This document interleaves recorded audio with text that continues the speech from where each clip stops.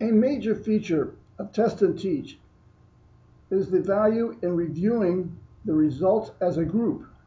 We already showed how the user can compare his or her measurements with the creator.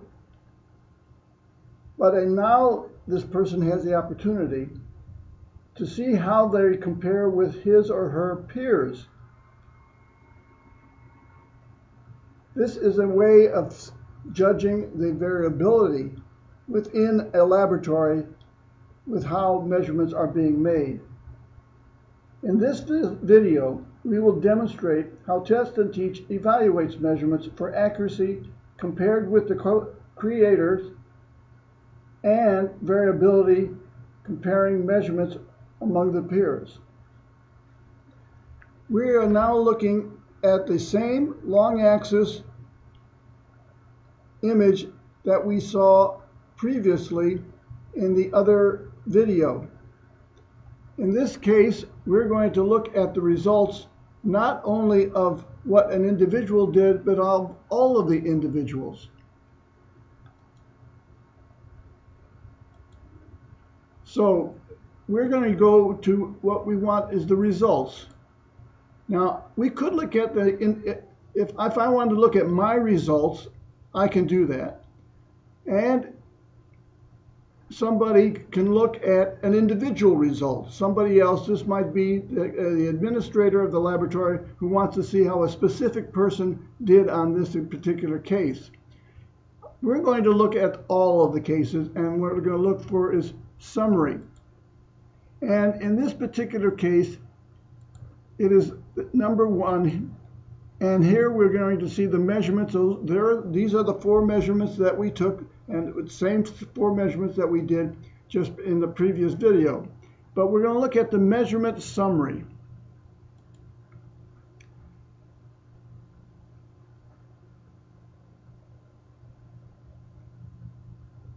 Now it's looking at the results of all of the people who did this examination. And actually this is quite a large number because this is a uh, this uh, case was in the uh, our laboratory and uh, many people were involved. In fact, it's over a hundred people were involved in making this this uh, particular uh, study. So we can get some idea as how much variability there might be. Now, this being such a very large number indicates that there's going to be a fair amount of variability. However, interesting, out of the 117 patients, there were only nine outliers, meaning that they measured, made a measurement that was outside the range of normal or abnormal. And that came with the uh, interventricular septum as well. So the accuracy was really uh, quite good. Now, the variability, on the other hand, uh, was not so good. Not, for example, if you look at the uh, user coefficient of uh, variance, that was 13% for the inferior uh, for the uh, interventricular septum. That's uh, unfortunately about average. we would like to have it below 10%, but the fact of the matter is wall thickness measurements are not easy, and 13% is probably an average number. However, posterior ventricular wall was uh, had a, a, over 90% variance. Now that is totally unacceptable. There's got to be some kind of an explanation for it. Well, the explanation can come by clicking on, double clicking on the uh, the measurement in question, and then we'll get a little bit more detailed uh, data, and we now can look at where these measurements were done, and ooh, there we go.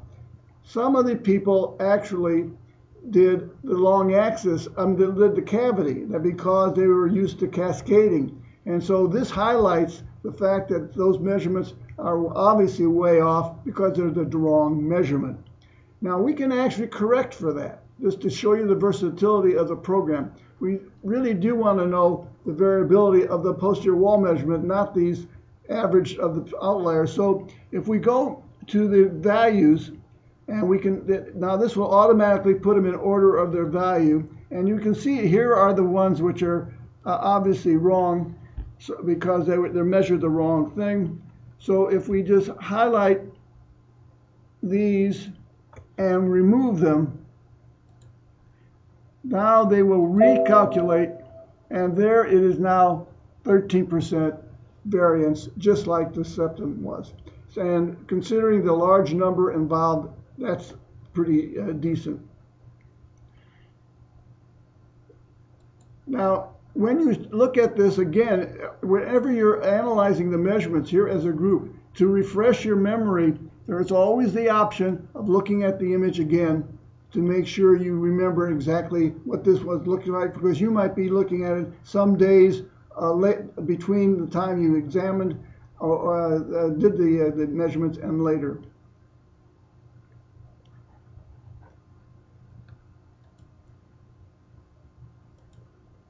The other measurement uh, were really the, the cavity measurements were, were much uh, better. They're easier. The variability uh, of the uh, systole was uh, less than one, which is what we like. For some reason, there's a, the variability of the diastolic measurement is a bit high, and we'll have to see if we can explain that.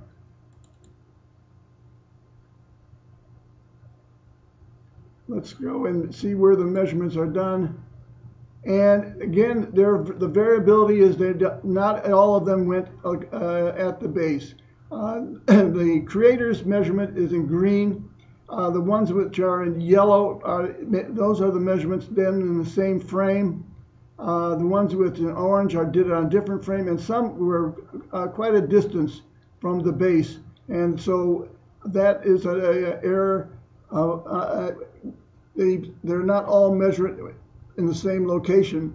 And in a given laboratory, uh, we have actually done uh, these kind of studies. And early on, when we first introduced this program, we saw other results like this. When they realized from this that they we were expecting them to do it at the base, not at the mid ventricle, we changed this and got all of the, uh, the, the sonographers and the physicians to measure all in the same location, and our variability improved dramatically.